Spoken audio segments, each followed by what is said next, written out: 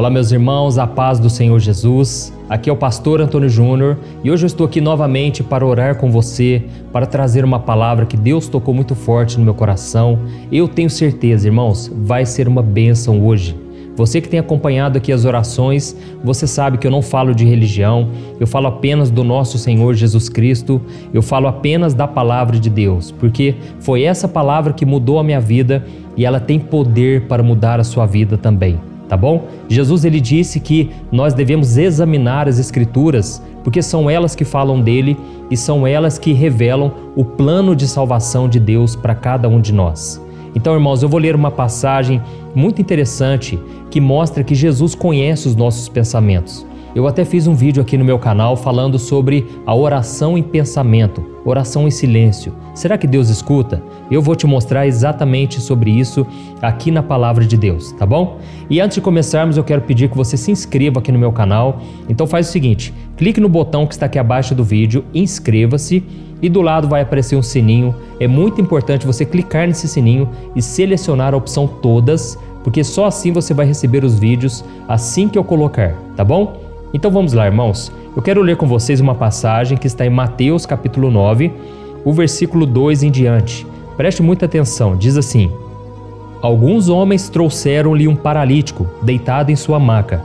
Vendo a fé que eles tinham, Jesus disse ao paralítico: Tenha bom ânimo, filho, os seus pecados estão perdoados. Diante disso, alguns mestres da lei disseram a si mesmos: Este homem está blasfemando. Conhecendo Jesus os seus pensamentos, disse-lhes: Por que vocês estão pensando maldosamente em seu coração?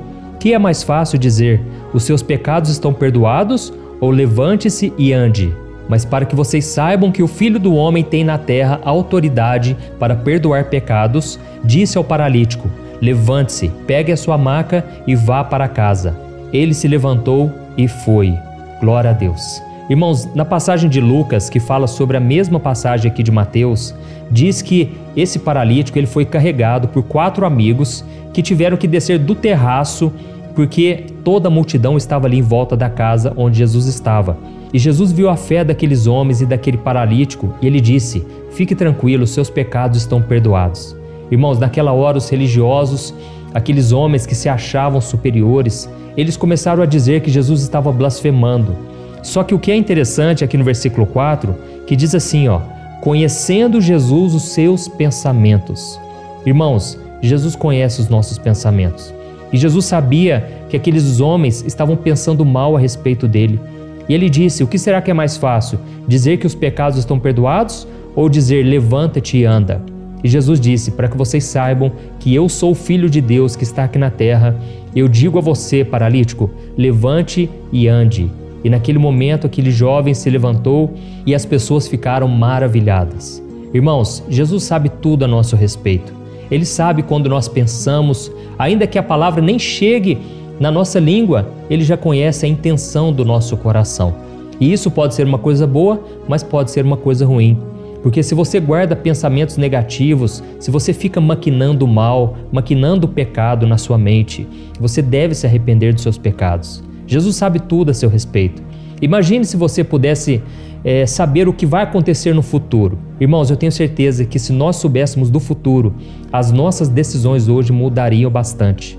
Eu fico imaginando que se nós soubéssemos os tipos de pessoas que vão surgir no nosso caminho, muitas pessoas a gente rejeitaria, a gente não ia querer nem amizade, porque a gente sabe que lá na frente essas pessoas iriam nos trair, iriam nos magoar. Então, irmãos, Saber do futuro faz toda a diferença. O problema é que nenhum de nós sabe do futuro. Só Jesus sabe. Só Jesus conhece a intenção de cada coração.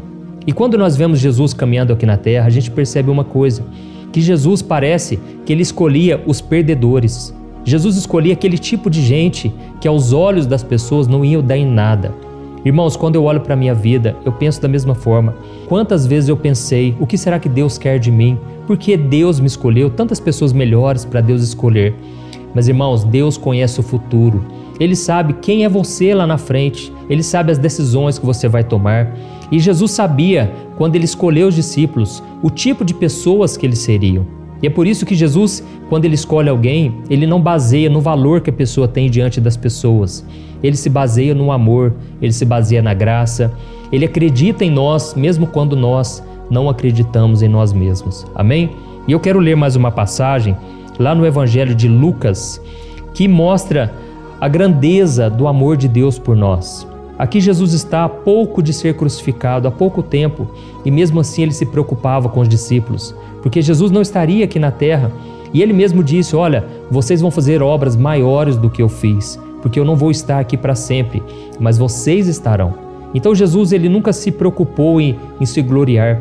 Ele podia mostrar o seu poder o tempo todo, mas ele se preocupava principalmente com a salvação. Então nós vamos ver aqui uma passagem de Lucas 22, o versículo 31. Olha o que ele disse para o discípulo Pedro. Olha o que diz: Simão, Simão, Satanás pediu vocês para peneirá-los como trigo, mas eu orei por você, para que a sua fé não desfaleça. E quando você se converter, fortaleça os seus irmãos. Amém? Olha que interessante, irmãos. Aqui nós vemos Jesus dizendo para os discípulos, mas principalmente para Pedro. Ele disse o seguinte: Olha, Satanás pediu vocês para peneirá-los como trigo.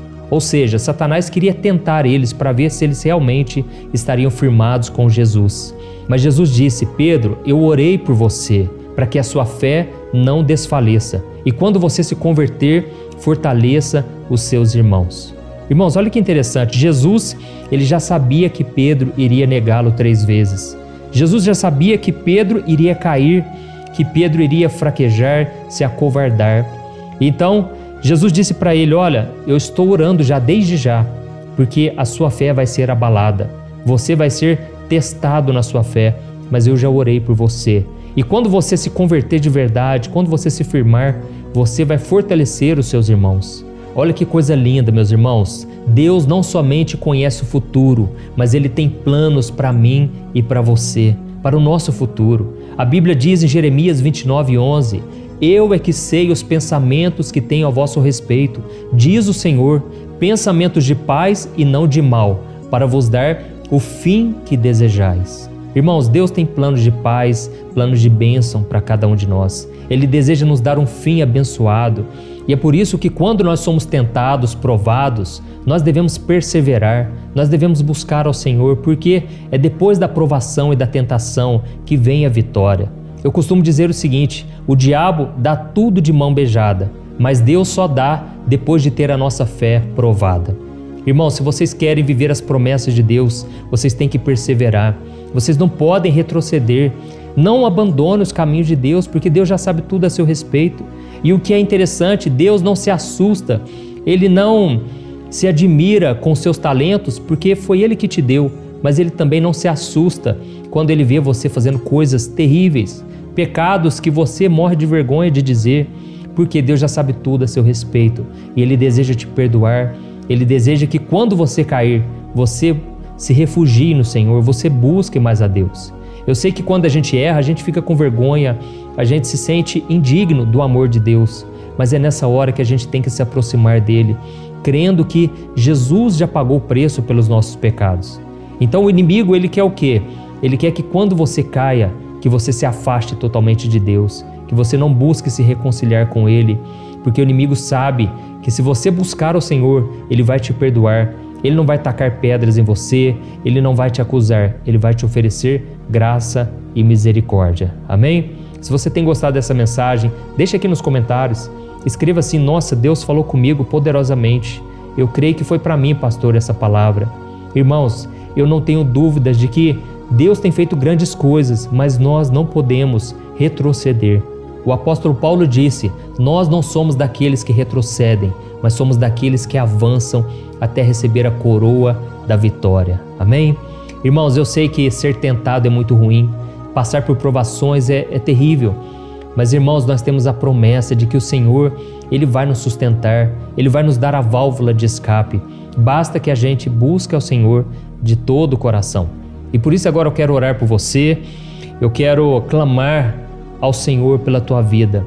Eu creio que o Senhor mais uma vez vai te perdoar. Ele vai perdoar os teus pecados. Ele pode curar as tuas dores, pode curar o seu corpo físico, a sua mente, as suas emoções. Deus é um Deus que cura e a Bíblia diz que Jesus é o mesmo ontem, hoje e eternamente. Eu tenho certeza, Ele está aqui entre nós, Ele está dentro de nós e Ele vai ouvir o nosso clamor, a nossa oração. Amém? Feche os teus olhos e vamos falar com o Senhor. Senhor, meu Deus e meu Pai, estamos aqui na tua presença. E desde já te agradecemos, Pai, porque o Senhor tem sido a nossa força, o Senhor tem sido o nosso refúgio, a nossa salvação. Ó oh, Jesus, eu te agradeço porque o Senhor tem perdoado os meus pecados, o Senhor tem demonstrado misericórdia, principalmente quando eu me sinto mais sujo dos homens, principalmente quando eu me sinto mais pecador de todos. Jesus, se não fosse o teu sangue derramado ali na cruz, não haveria salvação, não haveria esperança para o meu futuro. Mas quando o Senhor perdoava alguém enquanto esteve aqui na terra, é porque o Senhor já sabia que o Senhor iria pagar o preço por aquela pessoa. Oh, Jesus, eu creio que o Senhor derramou o teu sangue, foi um alto preço por mim e pelos meus irmãos. E eu creio, Senhor, que não vai ser em vão. O teu sacrifício valeu a pena, porque hoje muitos estão voltando para os teus caminhos. Este homem e esta mulher estão ouvindo esta oração pela primeira vez e eles se sentiram tocados. Pai, ajuda eles, Pai, a permanecer firmes nessa corrente de fé, nessa corrente de oração que eles não venham retroceder, mas que eles venham avançar na caminhada, que eles venham buscar o refúgio no Senhor dia após dia e que o Senhor derrame, Pai, do teu Espírito Santo. Esta pessoa que está entregando a vida dela para ti hoje, Ó oh, Jesus, a tua palavra diz que existe alegria no céu por um pecador que se arrepende, alegria entre os anjos, Pai, porque tudo que o Senhor espera é um coração quebrantado, assim como o coração de Pedro, que, mesmo tendo negado vergonhosamente, ele se arrependeu amargamente, ele clamou a tua misericórdia e o Senhor o perdoou. Pai, nós não queremos ser como Judas, que também errou, que também traiu Jesus, mas ele não se arrependeu. Não foi encontrado no coração dele o arrependimento e por isso o diabo destruiu a vida dele.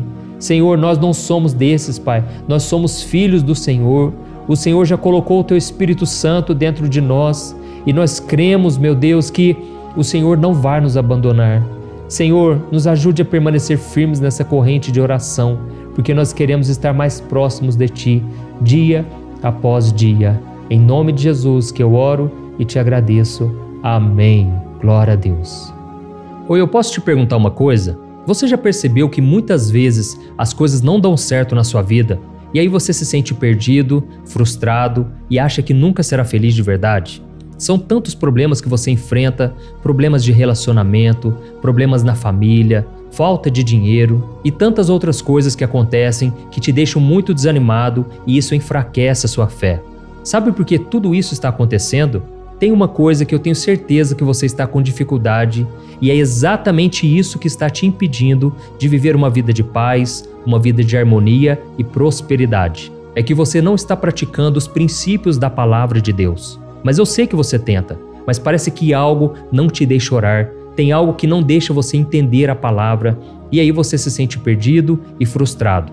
Por isso eu quero te contar uma coisa milhares de pessoas já estão fazendo parte de um movimento que eu criei chamado Jornada da Fé.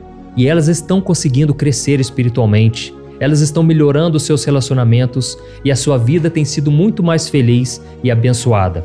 Eu já passei por tudo isso que você está vivendo hoje e eu sei o tamanho da sua dor. Eu também me sentia totalmente perdido, eu sabia que eu tinha que orar mais, eu tinha que ler a Bíblia, mas eu não conseguia. E aí eu me sentia totalmente frustrado até que depois de tanto lutar, eu descobri uma forma de crescer na caminhada com Deus. E depois que eu consegui fazer isso, a minha vida mudou da água para o vinho. A transformação foi tão grande que hoje eu consigo ajudar milhares e milhares de pessoas todos os dias. Por isso eu quero que você faça um compromisso, primeiramente com você mesmo e também com Deus, de que você vai seguir tudo que eu vou te falar aqui neste vídeo, tá bom? A primeira coisa que você precisa fazer você precisa orar e ler a Bíblia da forma correta, para que ela entre no seu coração e traga a mudança que você tanto deseja e que mude também o seu comportamento. Eu sei que muitas vezes você não sabe como agir porque o seu coração está muito triste, aflito, angustiado e perdido. Eu também sei que muitas vezes você fica frustrado porque você não tem forças para seguir em frente. Eu também vivi assim por muitos anos e eu sei exatamente o que é isso. Até que eu comecei a ver a palavra de Deus de uma forma simples e prática. E essa jornada fez a minha vida se transformar a tal ponto que hoje eu estou aqui ajudando milhares de pessoas a encontrarem paz, harmonia e direção. Irmãos, eu não poderia deixar isso somente para mim, eu não poderia reter este conhecimento e por isso eu escrevi três livros que são a base para você aprender essa forma simples e prática de buscar a Deus e ter resultados na sua vida. O primeiro livro é O Momento com Deus. Ele vai alimentar o seu espírito de tal forma que você vai sentir um desejo muito grande de buscar a Deus. Neste livro você vai entender a palavra de uma forma muito simples e isso vai fortalecer a sua fé. Nele você vai ler uma mensagem para cada dia do ano, lembrando que todas essas mensagens são divididas por temas para você ir direto naquela palavra que você está tanto precisando. E o segundo livro é o Vida de Oração. Este livro vai mudar os seus sentimentos, ele vai curar as suas emoções, ele vai dar direção para a sua vida. Você vai perceber que o seu dia a dia será muito mais leve, porque a oração, ela acalma o nosso coração, ela alivia a nossa alma. Amém?